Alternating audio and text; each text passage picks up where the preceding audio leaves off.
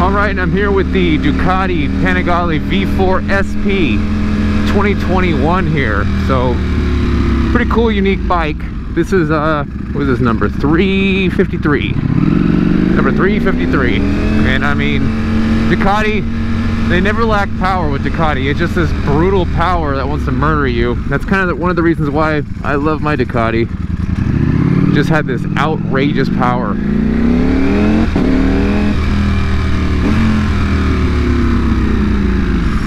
So I got no gas here, so I have to go to the gas station here real quick and then uh, you see what this bike does.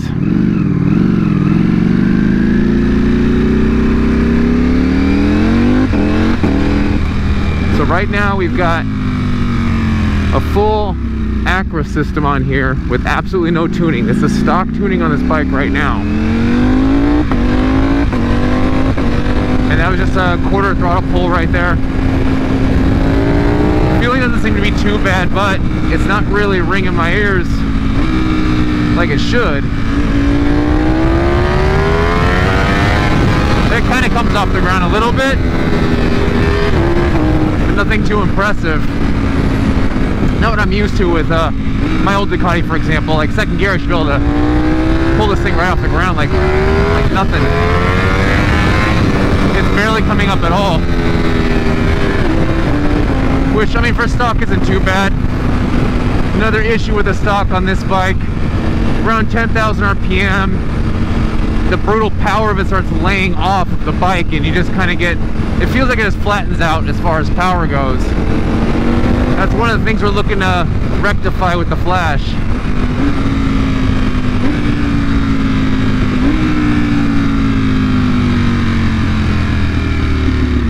Quick shifter feels all right.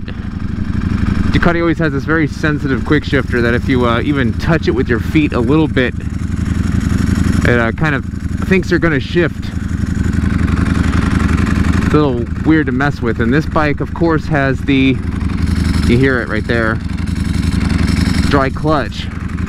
Which dry clutches are great. They just kind of, um, they wear a little quicker than let's say the uh, the wet clutch that standard comes with, that comes with a standard V4.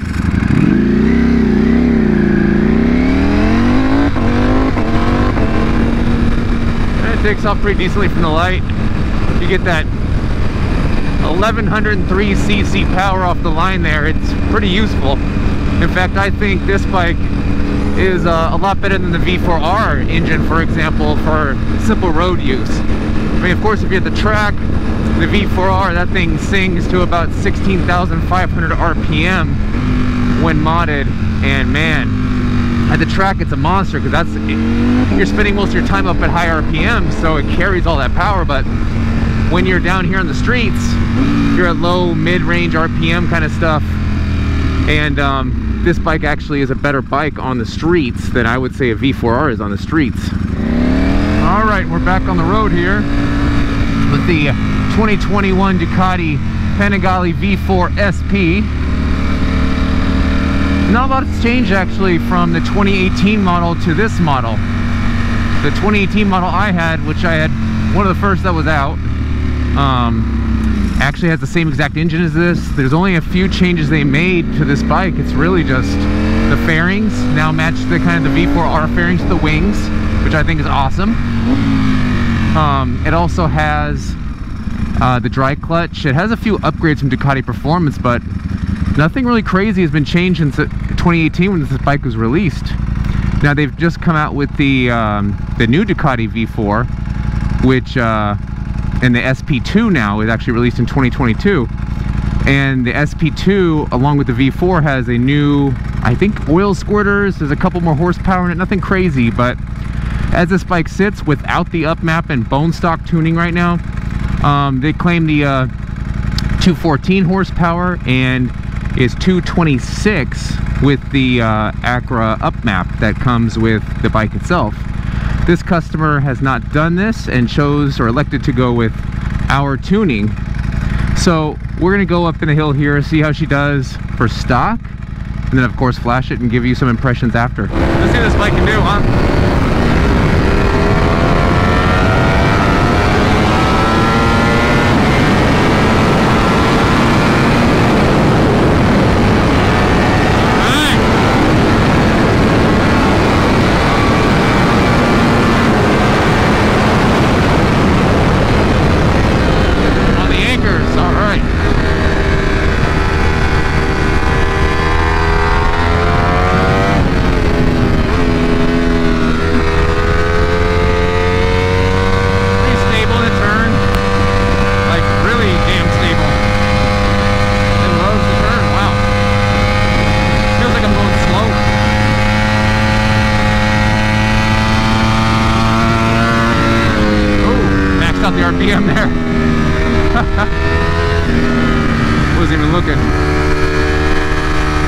Feels smooth in a turn. I can get off, get on the throttle, roll on it.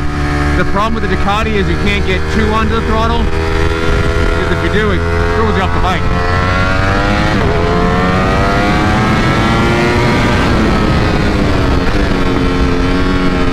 All right.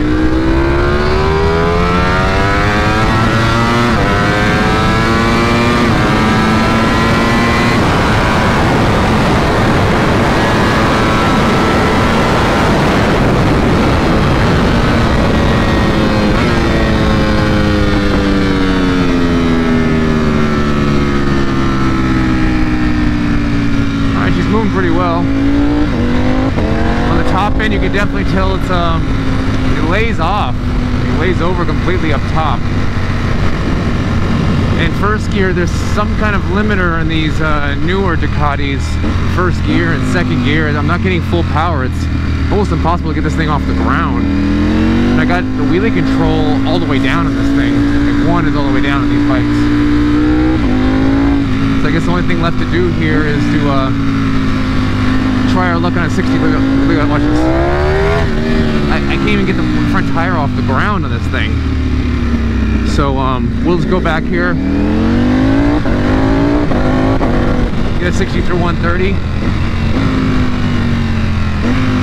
And uh, we'll see if we can improve upon that with the flash. All right, we got the Dragy ready to go here, 60 through 130. All right, here we go. All right, 60 through 130 stock Ducati V4 SP. Here we go.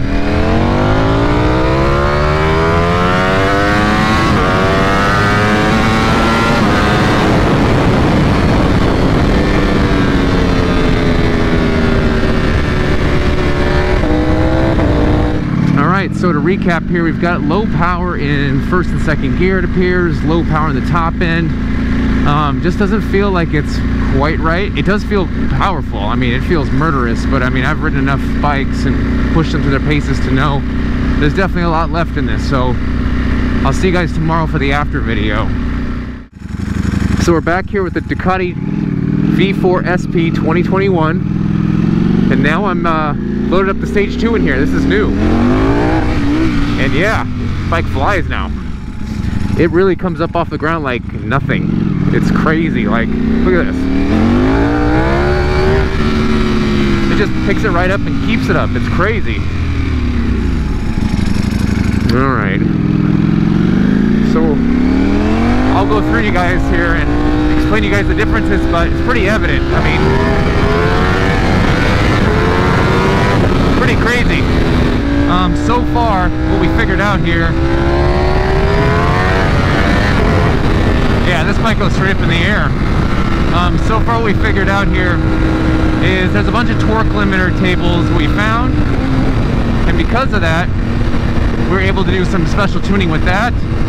Individual cylinder tuning, of course, the dyno back in Massachusetts, and me street testing here in California, along with street testing in Massachusetts as well. We've come up with this uh, new stage two, which the quick shifter is actually quite a bit faster. Actually, it's it's noticeable. The torque, right when you get on the gas, it's I mean everything is there. It, it's it's not like you have to wait for this thing to wind up anymore. It's just it's all instantly there on the table. It's crazy. It feels like a huge improvement over the uh, the stage one. And I mean I know that sounds like. Uh, fan service there. Like oh yeah stage one stage two you know huge difference but you really do feel the difference between stage one and two. Um, we've actually tested on a couple V4Rs as well getting great feedback so far on it. People are saying it feels like the bike's on MR12 when it's just on pump gas and um, the way the bike gets out and just delivers torque now is just absolutely crazy. It really lets this uh, this 1103cc engine shine so I know in the last video, um, this guy, the customer here has a windscreen that is, I mean, absolutely completely black. I mean, you can't even see light coming through this thing whatsoever. I mean, it is blacked out completely. So I'll try not to duck down so far so you guys can actually see some some of the road on this thing. Um, because I know on the first video I was looking through it and I could see like just black in a cluster basically. So I'll see if I can stay up a little bit so you guys can actually see what's going on outside. Looks nice. Yeah, this, the, this uh, this exhaust cracks now with that new shifter. Well, I mean, not new shifter, but the revised stage two tuning for the shifter. It really cracks now. So we'll see what this thing can do up in the hills here. I see a Porsche way up there, so I'll probably end up catching that pretty fast.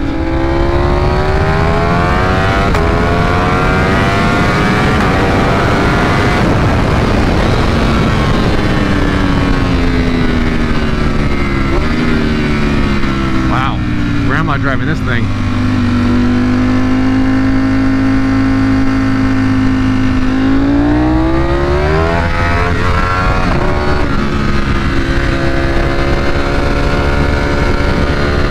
Seventy.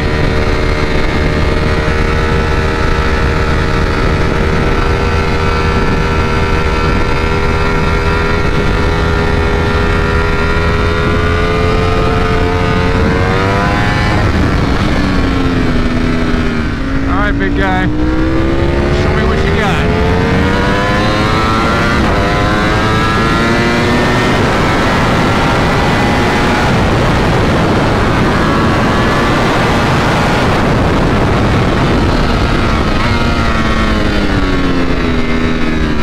All right, good test the brakes there too.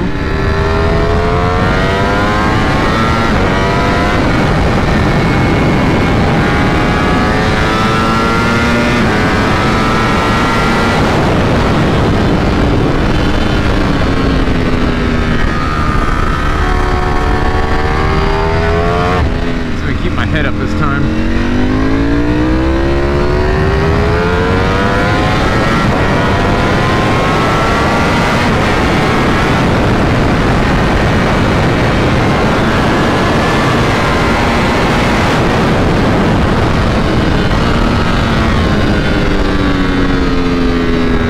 Man, it is really hard to keep your head up.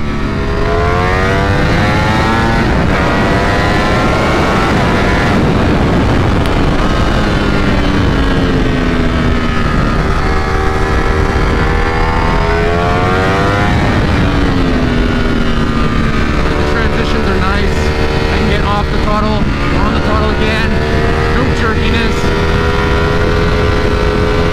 This turn is nice.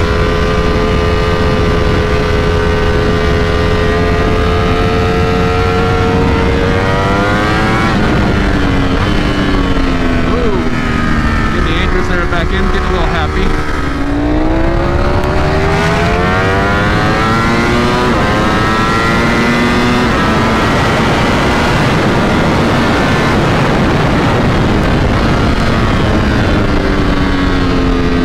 A lot of traffic today, but man, this bike is Wow. So I'm feeling uh, better than stock here. Definitely that shifting. I love that shifting now. Um, definitely crispier or, or crisper shifting. More power up top. So on the standard V4, usually what happens is the bike kind of levels off up top, and this bike is no exception. It gets like 10,000 RPM and it's still making power, but it's no longer pulling, I guess you could say, as hard as it normally would um, through the low and mid range. So it's a huge change because now we've got all that power up top too, as well as we do in the mid and low range, and the power is a, lot crazier now. I mean, it's it's really brutal. I would not recommend this Flash for a beginner rider. I mean, the bike altogether, but this Flash is something to get used to. I mean, it's very brutal. But I also like, as the turns and the transitions for throttles on tip-in, it's very predictable. I mean, I mean, we get brutal power on tap when you want it, but it also gives you this uh, nice feel on tip-in where it's more forgiving. You don't, you can't like, you know, hiccup or sneeze in the middle of a turn and be on your back, you know? So with testing on stage two, I found the, the low and mid range, I mean, it is substantially noticeable. If you jump from stage one to stage two, and you just get on the gas in first gear, that's the first thing you notice is just, whoa, that response is really clear at this point. It, there's no winding this thing up. It is on tap, it is there, it is ready. Um, the tire just comes right off the ground, like nothing now.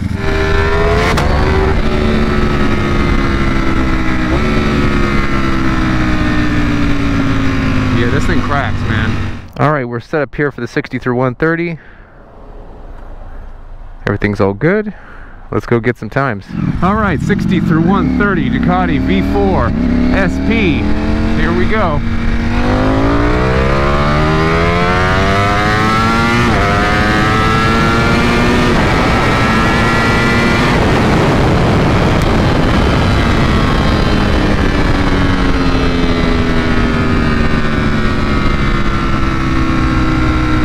All right, so to recap here completely, we've got per cylinder tuning for stage two. We've got enhanced, optimized ignition, optimized fueling up top It's more aggressive for racing. Faster quick shifter, down low, up high, everywhere. Nice and cracked, cracks into every gear now. Um, it just wheelies everywhere now. We got the decel fueling basically perfect on this bike. Feels amazing. Everything about this bike feels great right now. Tip-in fueling's awesome. Everything. Everything that made the Ducati kind of iffy for me has been rectified in stage two and then some. I mean, it's power.